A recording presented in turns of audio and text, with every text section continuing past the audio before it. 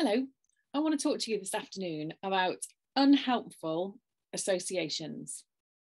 And I don't mean uh, ditching your friends or breaking up with someone. I mean unhelpful associations in terms of emotions and events and how we link the two together when actually they don't belong together at all. So, what has brought about this this musing? Well, today is the 1st of February and it's an absolutely beautiful day today. I keep looking out the window, which is just in front of me, but it's a beautiful day today. Um, it feels like the first day of spring, even though that isn't here yet. And I've just been out for a gorgeous walk with the dog. I was out with the walkers earlier on and we did a lovely three three and a bit miles this morning and it was just too nice to call it a day there. So i came home and i grabbed the harness and lottie and i went out and did another five miles all around the woodlands and the walkways of, of where we live. And i was thinking this morning about new year's resolutions. How many people have abandoned theirs already? Um, how many people didn't make them in the first place because they've either got so sick of trying and then failing, or they're just feeling in a place at the moment where they don't know which way to turn and they don't know what to do. And that really got me thinking about this whole concept of not very helpful associations. So I want to ask you to think about whether you are sabotaging yourself at the moment. What you might be doing or not doing that is holding you in a place where you're you know you've decided it's your comfort zone but actually you're incredibly uncomfortable where you are at the moment. So how is that comfort zone really serving you? Is it your comfort zone or is it just feeling like a safer place because then you haven't got to do anything different how okay would you be with still being here and feeling like you feel in five years time? Is what you're doing now actually going to affect your ability to be here and and feeling the things that you're feeling in five years time? Because quite often we will make a decision about what we're going to do or not do based on our past experiences. Now lately i've gone back to something but i had to reframe that in my head because going back to it for me felt a little bit like I was going backwards. And I realized that for a long time, I'd resisted going back because I had attached a feeling of failure to that part of life, to that experience. It was something that actually was a very positive experience, and then it did it didn't stay positive. Um, so the whole thing I then associated with pain, frustration, bit of shame, disappointment, embarrassment. They're all really helpful emotions, aren't they? Um, and so for a long time, I resisted going back, even though the logical part of my brain, when I look at it now, knows that actually it's a good thing to do. It's something that works. It's something that makes me feel better. It's something that makes me feel fitter, stronger, more energized, all of those things. But in my head, I had associated those emotions with that thing, glued them together and made it my truth. And, and, and it's bollocks. Frankly, it's, it's nonsense. Why do we do that? So many of our fears, so many of our limiting beliefs are based on unhelpful associations. Something happens in the past, and we don't necessarily remember the thing, we remember all of the emotions that came around it. And they're very rarely positive emotions. Embarrassment, fear, judgment, uh, shame, you know, all, all of those all of those things. Guilt sometimes. We can't go backwards because that makes us feel guilty. If we go backwards we're, we're we are it's shameful. We can't save face and go backwards. We've got to keep moving forwards.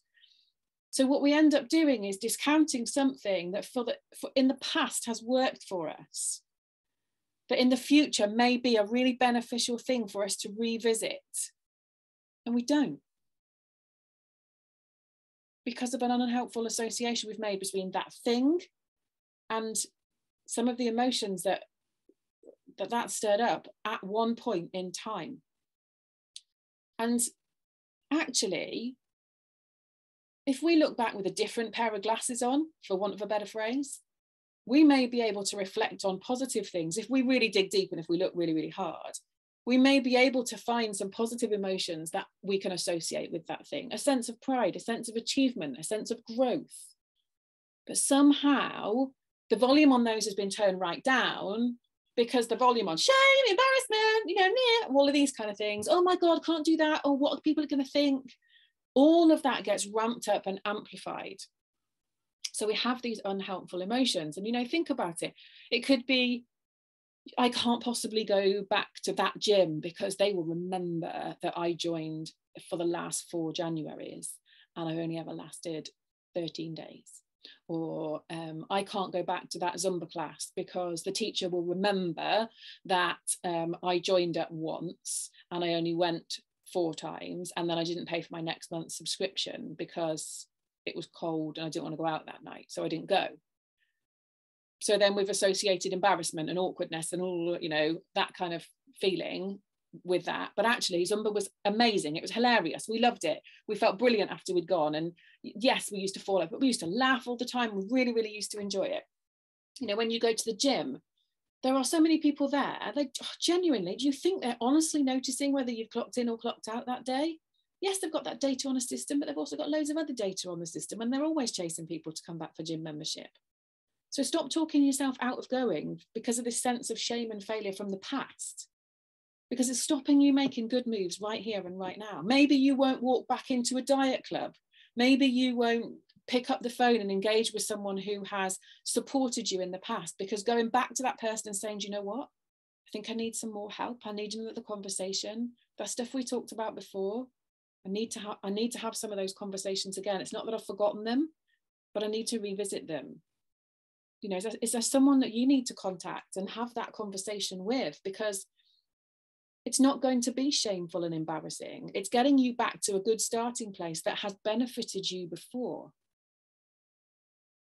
So put down the unhelpful association of those emotions that you've bolted on, unbolt that one and that one and that one and that one and that one and chuck them away because you can bolt a lot more positive emotions onto here and bring that thing forward in your life to bring you the same or maybe even greater benefits than you had before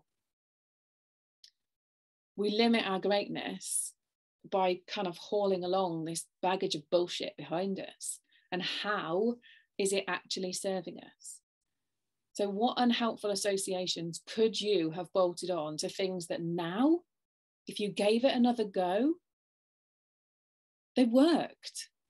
They worked before. So, why wouldn't they work again? and believing that that first step into do you know what? This worked for me before. I'm going to pick up the phone. I'm going to send that email. I'm going to click on that link. I'm going to join that again. I'm going to become part of that community again. What difference could that make to you? Making more helpful associations bringing along more helpful and supportive emotions what difference could that make to you in the next 28 days by the end of february as we enter spring for real at the start of March? What difference could that make for you? What difference could that make for you in three months' time? You know, as we get towards the end of spring and into the summer months, how could you be feeling then? You know, could you be feeling brighter, better, fitter, healthier, more energized and lively in every single way because you stopped talking yourself out of something and reminded yourself it's worked before and it can work again. So have a think about your unhelpful associations and what you can do to do things differently.